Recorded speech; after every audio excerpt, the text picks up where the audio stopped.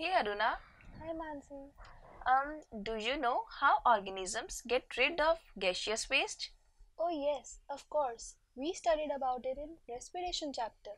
Oh yes, but what are these products and how nitrogenous waste products are removed from our body? Hmm.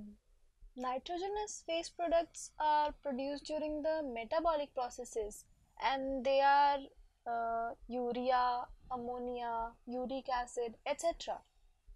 Oh really? How these nitrogenous products affects our body? These nitrogenous waste products are very harmful for our body. Oh, but if they are harmful, so how they are removed from our body? Mm, I don't know about the process. We'll ask it to ma'am. Oh, here she comes. Hello students, how are you? Hello, Hello, ma'am. ma'am. We are very fine, ma'am. Ma'am, can you please tell us how the waste products are removed from our body?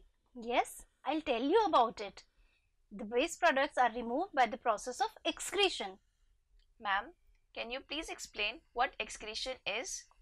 Mansi, the biological process involved in the removal of harmful metabolic waste is called excretion and different organisms use different strategies to do this. Unicellular organism remove these metabolic waste from their body surrounding by simple diffusion. On the other hand, multicellular organism use specialized organ to do this. Did you get it kids? Yes, ma'am. But ma'am, how does this process executes in our body?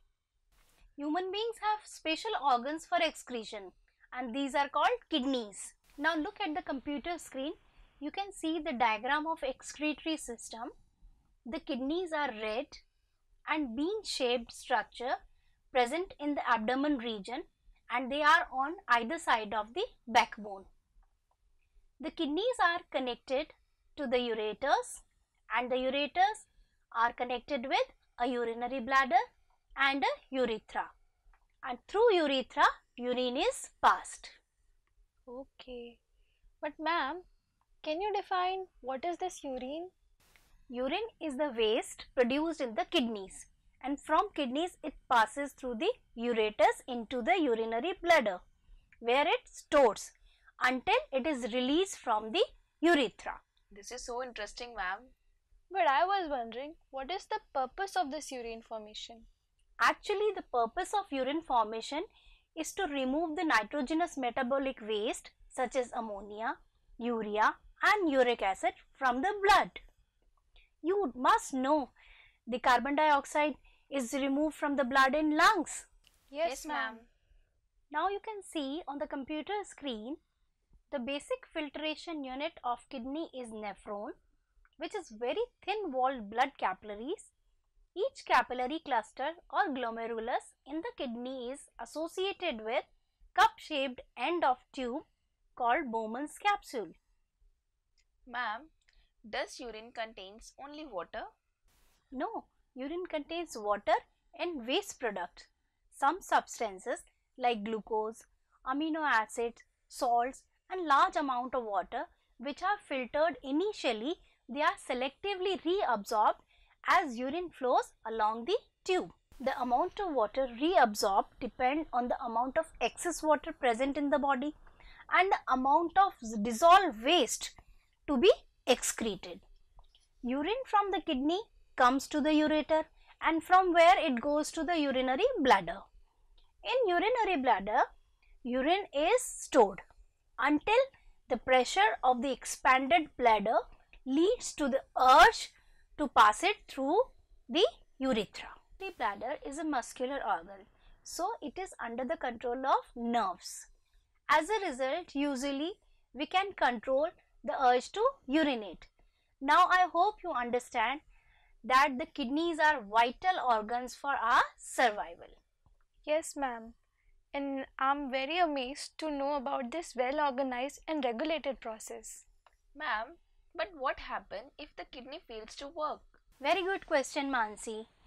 Several factors like infections, injury, and restricted blood flow to the kidney reduces the functioning of the kidney. And due to this, there is an accumulation of poisonous substance in our body which can lead to the death. Case of kidney failure, artificial kidneys can be used and it is a device which is used to remove nitrogenous metabolic waste from the blood by the process of dialysis. Ma'am, I have a query. How these artificial kidneys work? Artificial kidney contains a number of tubes with a semi-permeable lining suspended in a tank filled with dialyzing fluid. This fluid has the same osmotic pressure as blood except that it is devoid of nitrogenous waste. The patient's blood is passed through these tubes. During this passage, the waste products from the blood pass into dialyzing fluid by diffusion and the purified blood is pumped back into the patient. The process is similar to the functions of the kidney but the only difference is that the selective reabsorption does not takes place in artificial kidneys. Ma'am, uh, how much amount of blood is filtered daily? Good question Mansi. In healthy adult, the amount of initial filtrate in kidney is 180 liters daily. However, the actual volume excreted is 1 or 2 liters in a day because the remaining filtrate is reabsorbed by the kidney tubules. Okay, ma'am. So, this is all about excretion in human beings. Students, tell me, what do you know about excretion in plants? Ma'am, we know that in plants the food is produced by the process of photosynthesis and this food is utilized for the energy production which is later on transported to various organs. Um, and the metabolic waste so produced need to be excreted out. Very good. Let's talk about this in detail. Take a look on the screen. Plants excrete through various means. By simple diffusion, oxygen can be released out through stomata. The excess of water is also released through stomata by transpiration and various other excretory substances like resins, gums have different mechanisms. Resins, gums can be stored in the old xylem which is dead.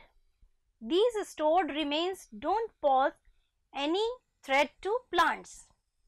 Other excretory substances can be stored in cellular structure vacuole which moves to aging leaves of the plants which later fall off or they can excrete into surrounding soil. Did you get it kids? Yes, ma'am. Now tell me what have you learned today? Ma'am, today we have learnt about concept, structure and process of excretory system in human beings.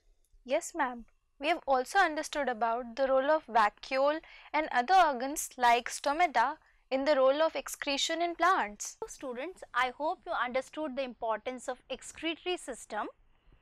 Let's conclude at this point. Goodbye. Thank you, ma'am.